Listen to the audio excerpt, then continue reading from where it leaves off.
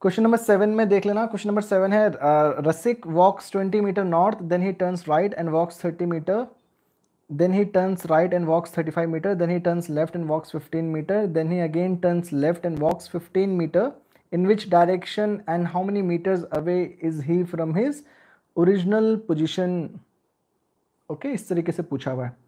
कोई बात नहीं डायग्राम बना लेते हैं। ओके तो डायग्राम में सबसे पहले क्या लेते हैं? सबसे पहले Rasik walks 20 metre suppose this is the point space कम ना हो जाएगी कोई बात नहीं ट्राई करते हैं। सबसे पहले 20 मीटर वो नॉर्थ की तरफ़ गया। R is nothing but the initial position Rasik की। Then he turns right and walks 30 metres तो थोड़ा 30 मीटर ज़्यादा दिखाना पड़ेगा।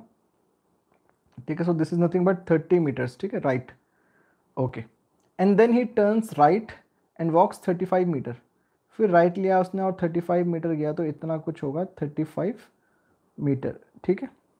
And then turns left and walks 15 metre then turns left तो ठीक है 35 मीटर के बाद he turns left and walks 15 metre तो लेफ़्ट गया और कितना गया? 15 मीटर तो सपोज़ इतना मैंने बना दिया 15 metre and then he again turns left okay and walks 15 metre फिर से लेफ़्ट गया और 15 मीटर गया तो 15 मीटर कुछ इतना बनाता हूँ मैं, ठीक है?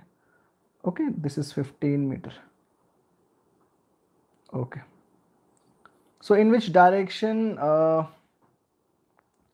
so in which direction is he from the original position? Original position is r, ठीक है? So he is towards the east ये तो ये तो साफ़ है, ठीक है? अगर आप लैटिट्यूडनल या हॉरिजॉन्टली देखोगे ठीक है? तो हॉरिजॉन्टली देखने के लिए 35 फाइव माइनस फिफ्टीन करोगे विल गेट 20 ठीक है? 35 five minus fifteen will get 20 इसका मतलब ये जो है ये एक स्ट्रेट लाइन है। This is nothing but the straight line ठीक है?